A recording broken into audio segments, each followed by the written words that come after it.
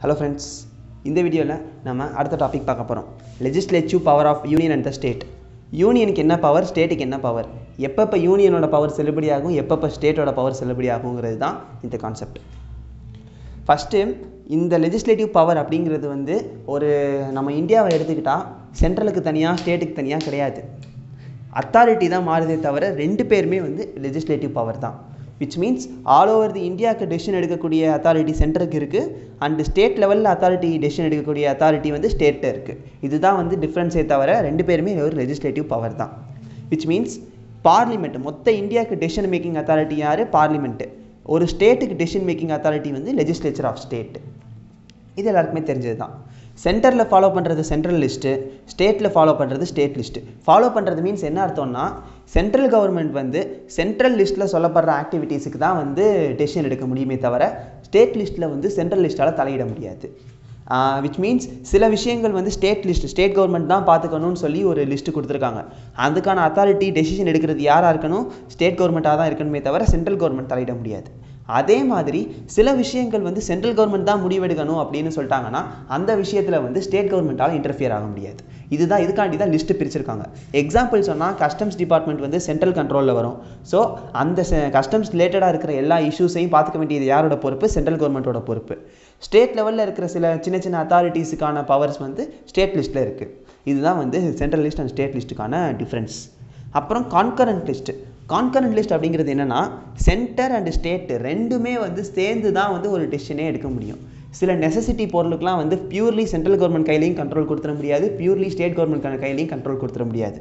அந்த மாதிரி சில விஷயங்களுக்காண்டி உருவாக்கப்பட்டது தான் கன்கரண்ட் லிஸ்ட் இந்த கன்கரண்ட் லிஸ்ட்டில் என்ன வரும்னா ரெண்டு பேருமே வருவாங்க. சென்ட்ரல் கவர்மெண்ட்டும் சேர்ந்து அப்ரூவ் பண்ணணும் ஸ்டேட் கவர்மெண்ட்டும் சேர்ந்து அப்ரூவ் பண்ணணும். அப்போ தான் வந்து அந்த லிஸ்ட் வந்து ஆக்டாக பாஸ் ஆகும். அந்த பர்டிகுலர் லிஸ்ட்டுக்கு தான் பேர் என்ன? கான்கரண்ட் லிஸ்ட்டு அடுத்து ரொம்ப இம்பார்ட்டண்ட்டான ஒரு சின்ன கான்செப்ட் ஸ்டேட் லிட் எக்ஸப்ஷன் இந்த ஸ்டேட் லிஸ்ட்டுன்னு சொல்லி நம்ம பார்த்தோம். சில விஷயங்கள் வந்து ஸ்டேட் கவர்மெண்ட் தான் வந்து டெசிஷன் எடுக்கணும்னு சொல்லி பார்த்தோம். அந்த ஸ்டேட் லிஸ்ட்டுக்கு வந்து சில எக்ஸப்ஷன்ஸ் இருக்குது விச் மீன்ஸ் என்ன அர்த்தம்னா இந்த பர்டிகுலர் கேசஸ் இந்த அஞ்சு பர்டிகுலர் கேசஸில் வந்து ஏதோ ஒரு கேஸ்க்குள்ளே இந்த ஸ்டேட் லிஸ்ட்டு அடங்குச்சுன்னா அந்த கேஸில் ஸ்டேட் லிஸ்ட்டோட அந்த பவரை மீறி சென்ட்ரல் கவர்மெண்ட்டால் வந்து ஒரு டெசிஷன் எடுக்க முடியும்னு சொல்கிறாங்க எப்பப்போ? நேஷ்னல் இன்ட்ரெஸ்ட் ப்ரிவைல்ஸ் இந்த ஸ்டேட் லிஸ்ட்டோட ஒரு பர்டிகுலர் ஆக்டிவிட்டினால் மொத்த நேஷ்னல் இன்ட்ரெஸ்ட்டே வந்து மாறக்கூடிய நிலைமை ஆகுது. அந்த கேஸில் வந்து சென்ட்ரல் கவர்மெண்ட் வந்து ஸ்டேட்டோட லிஸ்ட்டில் இருக்கிற ஆக்டிவிட்டீஸை வந்து எடுத்து டெசிஷன் எடுக்கலாம். அடுத்து ப்ரொக்ளமேஷன் ஆஃப் எமர்ஜென்சி சில எமர்ஜென்சி பர்பஸஸ்காண்டி வந்து சென்ட்ரல் கவர்மெண்ட் இமீடியட்டாக ஆக்ஷன் எடுக்கணும். அந்த கேஸில் சென்ட்ரல் அது வந்து ஸ்டேட் லிஸ்ட்லேயே சொல்லப்படுற ஆக்டிவிட்டியாக இருந்தாலும் தாராளமாக எடுத்துக்கலாம்.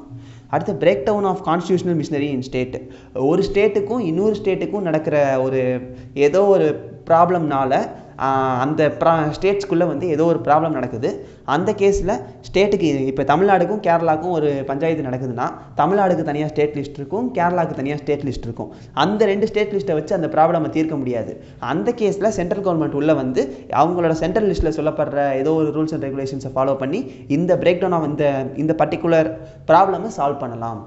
அடுத்து request of two or more state ரெண்டு மூணு ஸ்டேட் வந்து ரெக்வஸ்ட் பண்ணி இதை நீங்கள் சென்ட்ரல் கவர்மெண்ட் கண்ட்ரோலில் எடுத்துக்கோங்கன்னு சொல்லி ரெக்வஸ்ட் பண்ணி சொன்னாங்கன்னா அப்போ வந்து சென்ட்ரல் லிஸ்ட் வந்து ப்ரிவேல் ஆகும். அடுத்து இன்டர்நேஷ்னல் அக்ரிமெண்ட் எந்த ஒரு இன்டர்நேஷ்னல் அக்ரிமெண்ட்குள்ளே வந்து இந்தியா டீல் ஆச்சுனாலும் அந்த கேஸில் ஸ்டேட் லிஸ்ட் ப்ரிவேல் ஆகாது சென்ட்ரல் லிஸ்ட்டு தான் ப்ரிவேல் ஆகும். இதுதான் வந்து ஸ்டேட் லிஸ்ட்டுக்கான அஞ்சு எக்ஸெப்ஷன் இதில் ஏதாச்சும் டவுட்ஸ்னால் கமெண்ட்ஸில் கேளுங்க. தேங்க்யூ